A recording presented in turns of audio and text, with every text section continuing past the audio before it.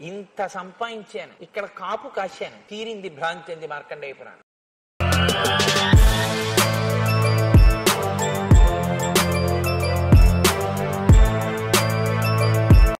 ఒకరికి గొప్ప అందం ఉంటుంది. అది ఎందుకు పనికొస్తుందంటే అమాయకుల్ని పాడు చేయడానికి పనికొస్తుంది. ఒకడికి విద్య ఉంటుంది. ఎందుకు పనికొస్తుందంటే అహంకరించడానికి పనికొస్తుంది. జ్ఞాన కలునిలోని శరదయువోలే అంటారు పోతన గారు. అది దేనికి పనికొస్తుందంటే ఆయన అహంకారం పొందడానికి పనికొచ్చింది ఆ విద్య. ఒకడికి ధనం ఉంటుంది. దేనికి పనికొచ్చింది అంటే దాచి దాచి దాచి తుదకు దొంగలకిత్తురో దొరలకవును. లేకపోతే దాని మీద భ్రాంతి పెంచుకుని పెంచుకుని పెంచుకుని మార్కండేయ పురాణంలో చెప్పినట్టు అదే తలుచుకుంటూ శరీరం విడిచిపెట్టి ఎక్కడ ఏ భోషాణంలో పెట్టి డబ్బు బంగారం నగలు దాచాడో దాని మీద భ్రాంతి పోక చీకటిగా ఉన్న ఆ భోషాణం కిందకి ఎవరైనా వచ్చి తీసేస్తారేమోనని తన కొడుక్కి తన బిడ్డలకే దక్కాలన్న భ్రాంతితో దాని కింద విషం తోకలో పెట్టుకుని నోట్లో పెట్టుకుని పావు పిల్లో తేలో జెర్రు అయి కింద పడుకుని ఉంటాడు చీకట్లో చమాయింపులో.